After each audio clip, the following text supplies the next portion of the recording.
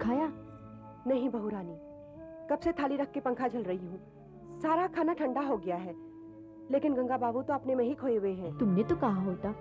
एक बार कहा था दोबारा कहने की मेरी हिम्मत नहीं है इसीलिए आपके पास आई। अच्छा तू जा वहीं जाकर बैठ। मैं उनका इंतज़ार करती हूँ। नहीं तो मैं माँ जी से कहूँगी। तू जा। अच्छा।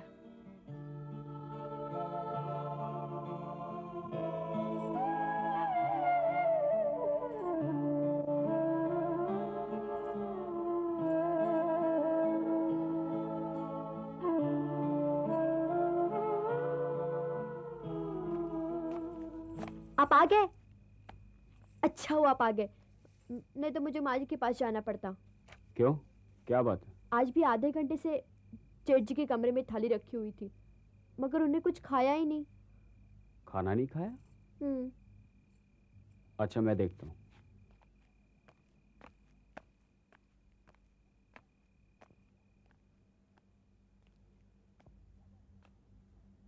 भैया क्या बात है? खाना नहीं खाया तुमने? नहीं भूख नहीं लग रही है छोटकू लेकिन किसी से कहूँगा तो कोई विश्वास ही नहीं करेगा। तबीयत तो ठीक है ना तुम्हारी? नहीं ऐसी कोई बात नहीं। लेकिन मन ही नहीं हो रहा है। अरे मन तो शरीर का एक बहुत छोटा सा हिस्सा है भैया। उसके लिए सारे शरीर को थोड़ी संकट में डाल सकते हैं। ए मानती सुन। अपनी छोटी मालकिन से कह हमारा भी खाना यहीं लगाएँगे। आज दोनों भाई एक साथ खाना खाएँगे। ठीक है। ये थाली भी ले जाती हूँ। खाना ठंडा हो जा गया ले जा ले। नहीं सचमुच छोटकू मुझे इच्छा नहीं हो रही है।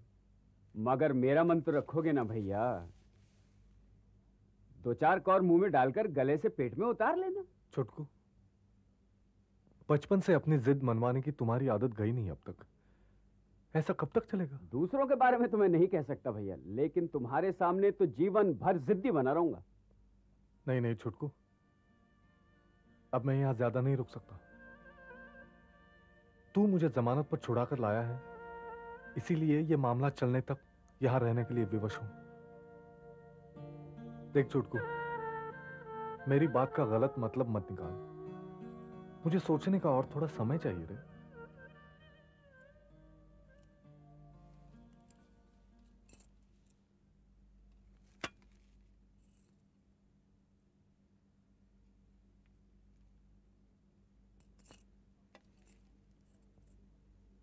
अब तो तुम्हारे खाने की इच्छा एकदम ही खत्म हो गई होगी भैया।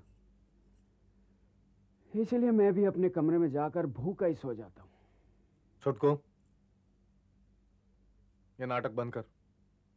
बैठ जाए यहाँ पर। मैं कह रहा हूँ बैठ।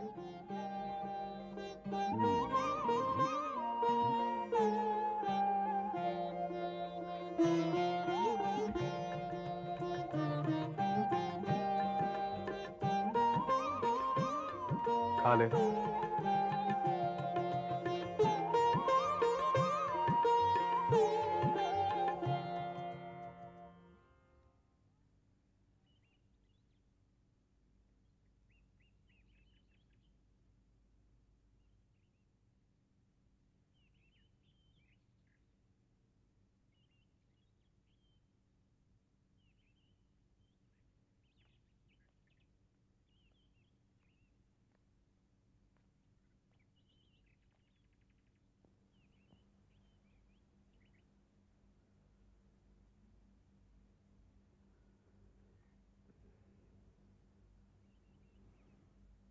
भैया।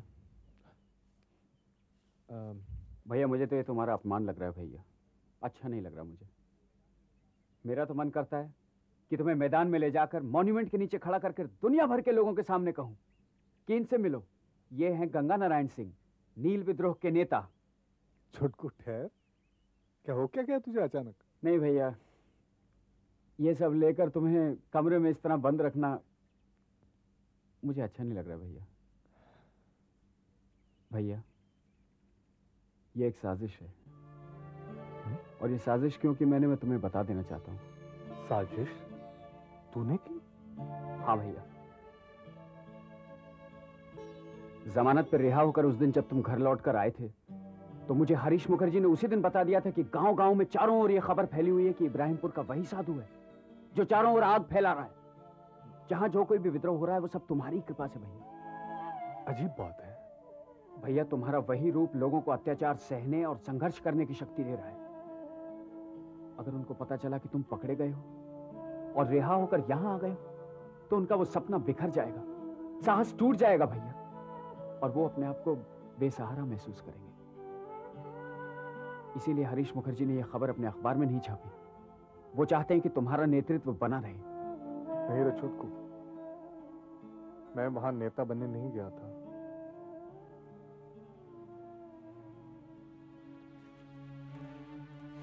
परिस्थिति तो ऐसी थी छोटकू, जो मेरे सामने आता गया, बस मैं करता गया। वहाँ तो लोग अपनी लड़ाई खुद लड़ने के लिए तैयार थे। लेकिन मैं जानता हूँ, न कल मैं उनका नेता था, न आज हूँ। भैया, जो तुम जानते हो वो और लोग ना जाने, यही हम चाहते हैं। इसीलिए थोड़े दिनों तक ये अज्ञातवास का दुख सहन कर लो भैया ठीक है। तो मैं भी भीमसेन की तरह इन अंकों की खिचड़ी पकाना शुरू कर देता हूँ। अच्छा भैया मैं चलता हूँ। ठीक। आइए। आइए। व्हाट इज़ दिस प्लेस ये कहाँ आ गए हम? झामा पुकुर हम्म? झामा पुकुर ये हरीशता के मित्र का घर है। आपके लिखने की व्यवस्था यहीं की गई है। आई सी हरीशता नहीं चाहते कि दीनबंधु बाबू का नाम या आपका नाम सरकार के लोग जान पाए। आप दोनों भी तो सरकारी काम ही करते हैं ना? यस आइए आइए इधर से। अच्छा। अरे मिस्टर दीन बंधु नमस्कार नमस्कार। नमस्कार। कैसे हो नवीन? जी बढ़िया हूँ एकदम। आप यहाँ? आपको तो कलकत्ते के बाहर होना चाहिए।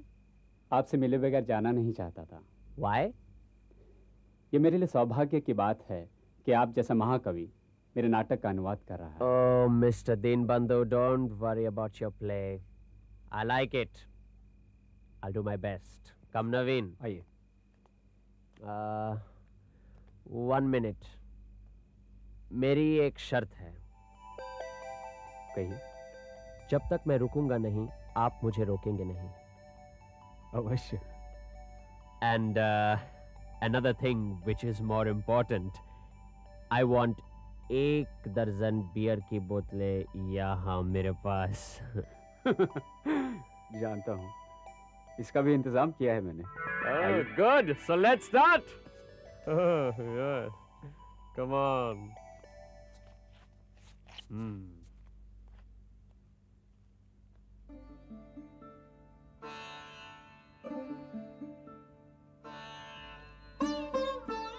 हम्म। उसके बाद पढ़ते जाओ। Just let me get the feel of the whole thing अच्छा साधु? यानी कि साधु चरण? नील चास के विरुद्ध आचरण किया नहीं और करने की क्षमता भी नहीं। मैं प्रजा एक ही हल है खेत जोतने का। ज़मीन है सिर्फ़ बीस बीघे जिसमें से नौ बीघे। चलो चलो।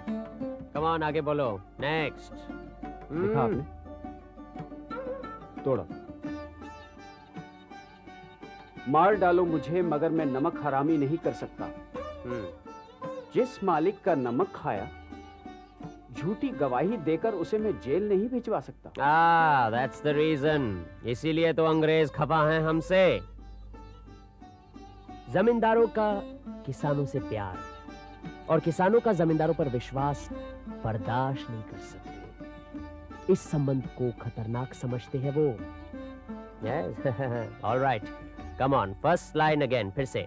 बोलो। चलिए हो चुका। बहुत हो चुका आज के लिए।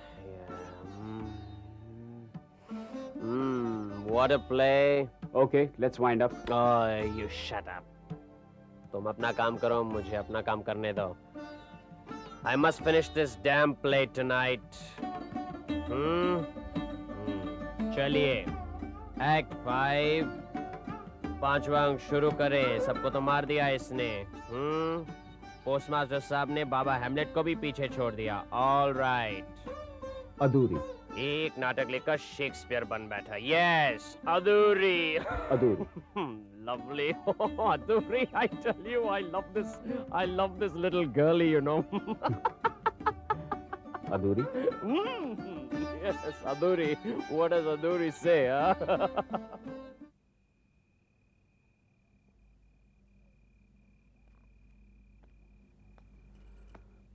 हम्म hmm. ये लो।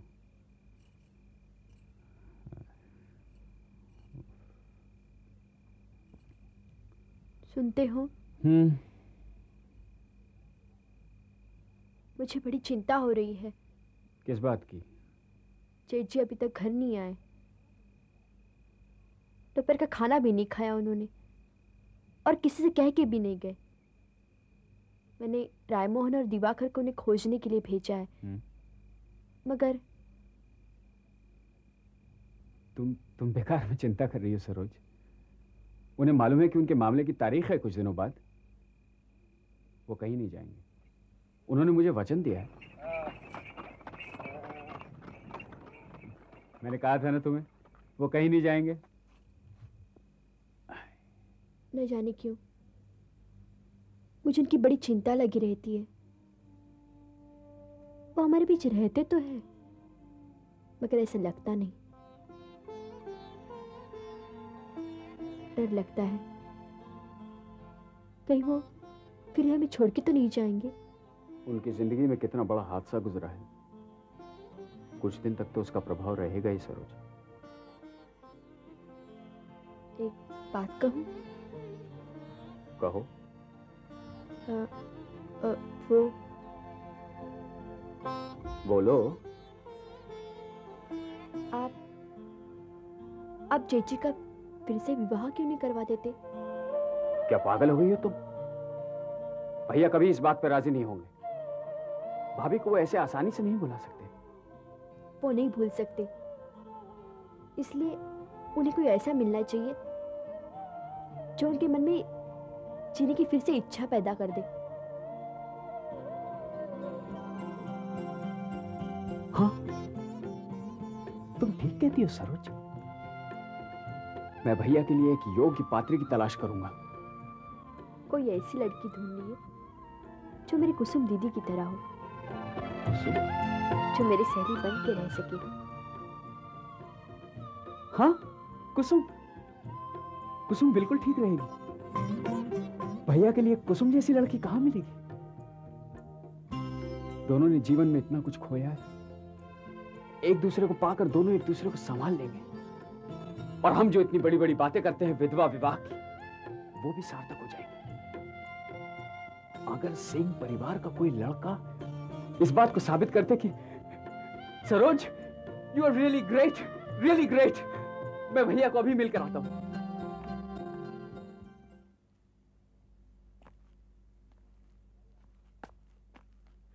भैया। अरे छुटकू कब आए तुम? तुम्हारे लौटने के थोड़ी देर पहले मगर तुम कहाँ गायब हो गए थे?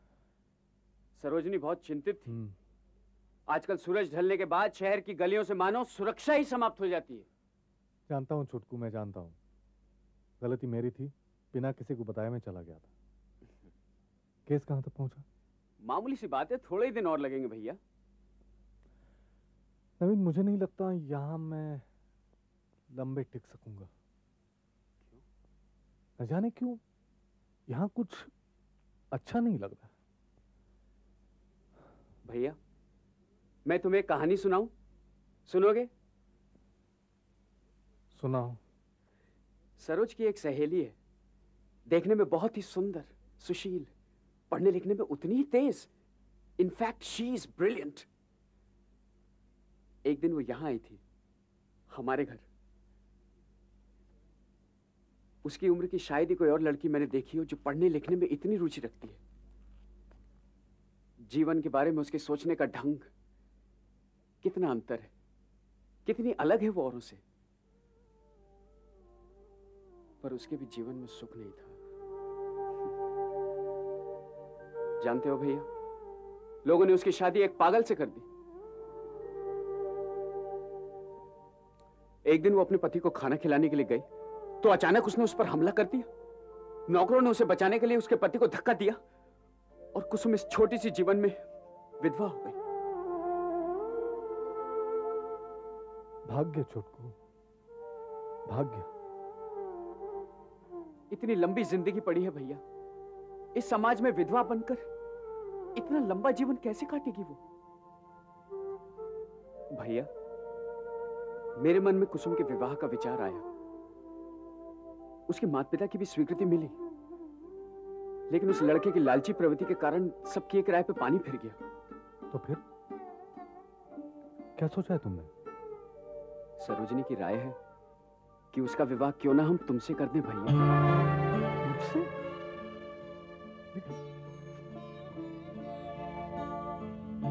मुझसे?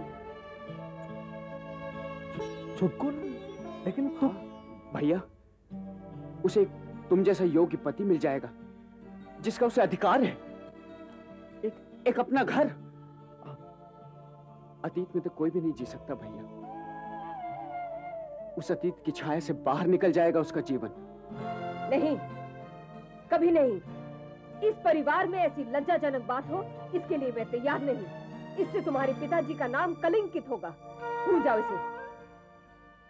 अगर फिर तुम लोगों ने इसके बारे में बात की तो मैं हमेशा के लिए काशी चली जाऊँगी। वैसे भी मुझे अब काशी में ही बसर करनी चाहिए, ताकि तुम लोग अपनी मनमानी कर सको। अब मेरी ज़िंदगी में रह क्या गया है? पूजा घर में सिर्फ़ मेरे भगवान हैं, जिनके चरणों में मैं अपनी जीवन बिता रही हूँ। इससे तो अच्छा है कि मैं उनके धाम में ही चली जाऊँ। जाओ, जाकर दिवाकर से कहो वकील बाबू से कहे मेरी काशी जाने का इंतज़ाम करे। जाओ। जी।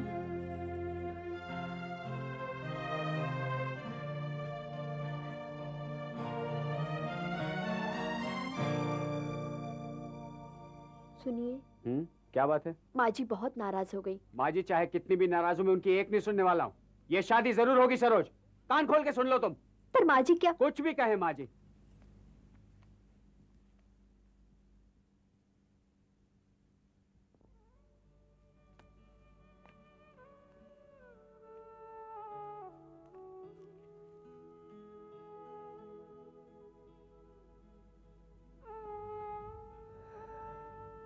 मैं काशी जाना चाहती हूँ।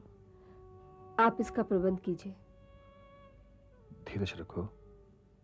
तुम जो चाहोगी होगा लेकिन अब मेरी कोई इच्छा नहीं रह गई। मैं घर संसार से दूर जाना चाहती हूँ। बच्चे बड़े हो गए हैं। फिर भी उन्हें तुम्हारी ज़रूरत है। समय बदल रहा है। इसलिए तुम्हें इन्हें स्वीकार कर लेना चाहिए। जो भी हो मेरा संसार नहीं बदलेगा। कभी कभी बच्चों के लिए बदलना पड़ता है। बहुत कुछ खोया है मैंने। विधवा विवाह की प्रथा अगर पहले शुरू ही होती तो आज हमारी बिंदु हमारे बीच जीवित होती। शादी तक रुक जाओ। उसके बाद चले जाना।